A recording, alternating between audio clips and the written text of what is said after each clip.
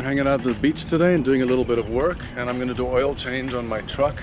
The reason why I do oil change is because I've been quoted through the drive-through oil change 150 to 225 because the truck uses a lot of oil and I'd rather just do it myself. So here's the filter and before anything I want to make sure that the filter is the right one because I'd hate to be stuck in this beach parking lot trying to find the right filter. so here it is. So we'll take it under there and compare it. So we got the bucket in position and all we do is turn the tap down.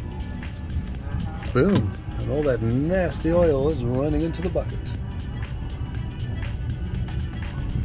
And I know that I'll be safe because the oil is not more than five gallons.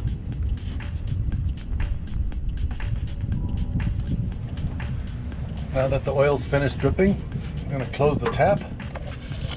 The oil in there? So instead of um, instead of unscrewing the oil filter, I'm actually gonna hit it with a hammer and a and a punch because that way the oil the oil will run from here into the bucket and I can empty the filter before I can unscrew so that it actually flows into the bucket. Boom.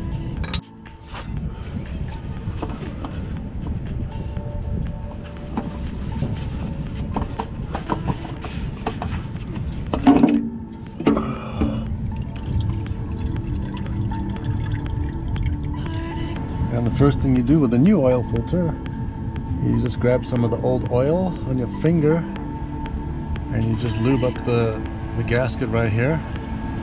So it makes a nice seal. There we go. And once the seal's all lubed up, we just spin it on righty tighty.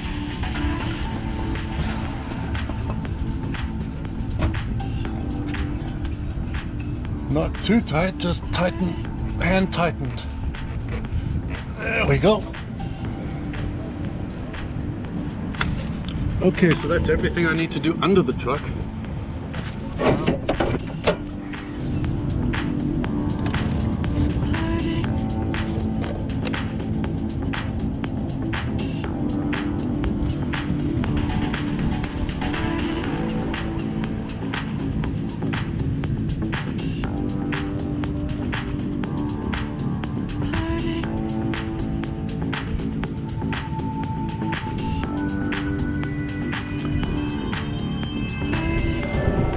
Now that I've filled up a lot of the oil, I'm going to check the dipstick.